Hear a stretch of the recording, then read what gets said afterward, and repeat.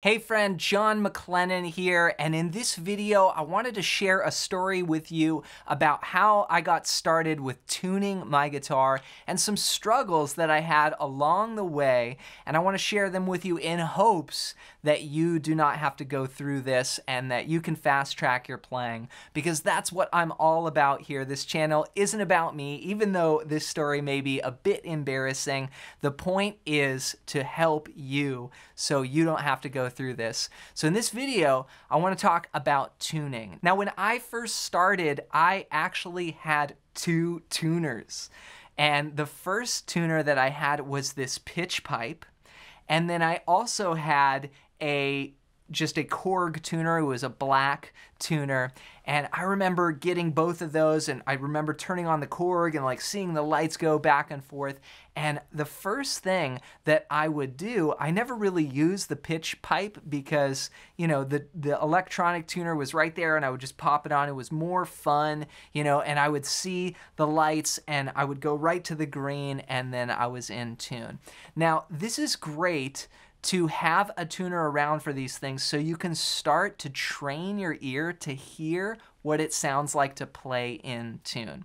Because there's nothing worse than being just a little bit out of tune. You could be playing all the parts perfectly on guitar, but if you're a little out of tune, it's gonna sound bad. And it also, when you know you're a little out of tune, it's like this uncomfortable feeling. So I would always grab my guitar, you know, and the first thing that I would do is like I had a, a tuner that I would just set here and pop on, or you could plug into it if it was an electric. And so I always had a tuner. From there, I got these clip-on tuners and pedal tuners. And you know, these are great. I just went around my studio though. They, they seem to not last very long. I have a lot of broken tuners. Uh, these typically tend to last me about three months.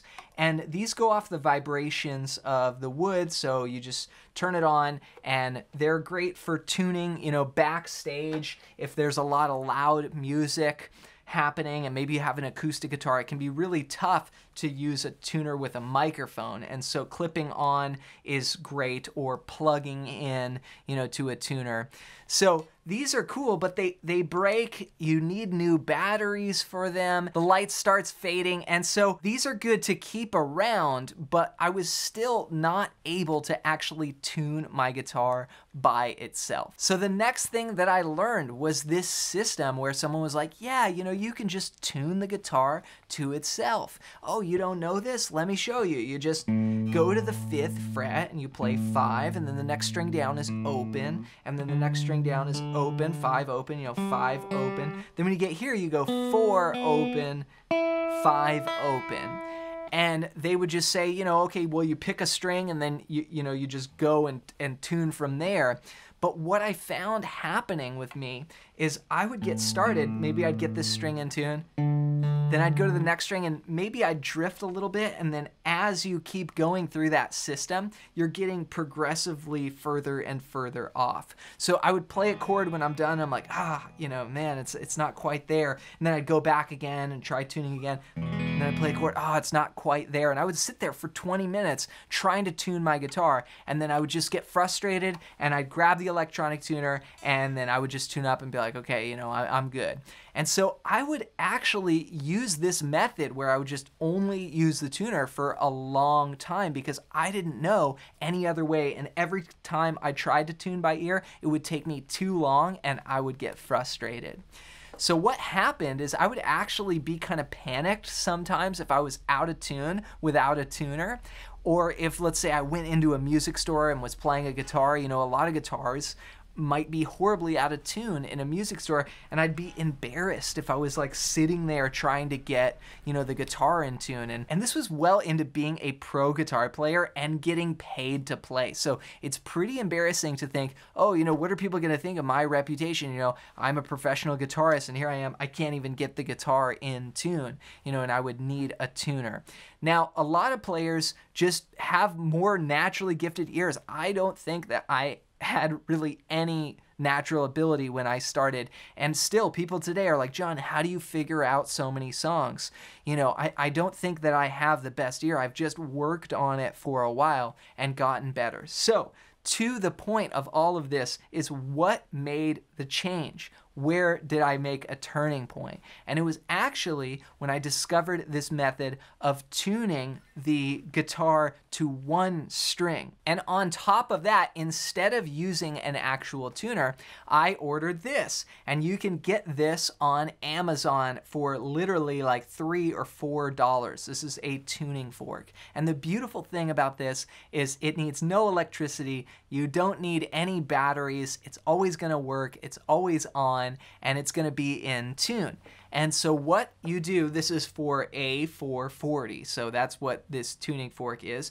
And you just hit it, you know, and so I keep this, you know, in my studio on my desk, and this is actually how I tune every day. I don't use a real tuner.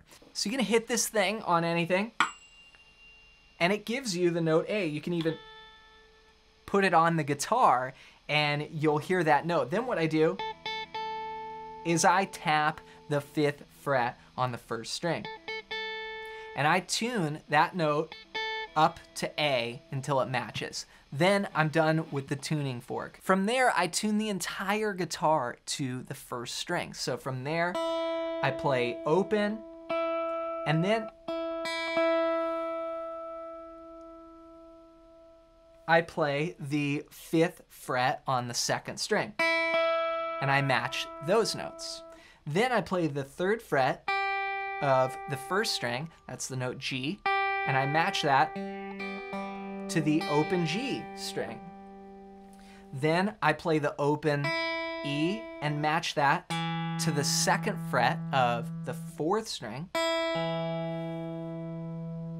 And then I play the open E and match that to the seventh fret of the fifth string. Then finally, I play E and E, high E, and low E, and tune those. So what happens with this method is your point of reference doesn't change. So you're always going to that E. So the guitar is going to get in tune a lot easier. Then from there, I check these two octave positions. So I play high E, second fret of the fourth string, and low E, and check and make sure all those are in tune. Then I play the fifth fret of the first string, the second fret of the third string, and open A. And I make sure all of those are in tune. Once I've done that, I tend to be pretty close Mm-hmm. and I'm in tune from there. So that's the method that I would recommend. Now, I don't go to my gigs and have my tuning fork, you know, or be on a studio session and be like, you know, hitting that. That would be pretty funny. Of course, for those, I use a plug-in tuner. I have like the Boss, the little standard white TU2 pedal, or of course, I have the clip-ons, and then I also have some other tuners that just have microphones that are like freestanding tuners. I'll use those for acoustics if I'm playing an acoustic session those tend to be really great. So those are my methods, but day in and day out, I use the tuning fork at home. Now, if you don't have a tuning fork, you could still tune any guitar. Like if someone just asked you to tune a guitar, you could just tune it to the high E string, you know, just, just see if you can get it close and then go from there.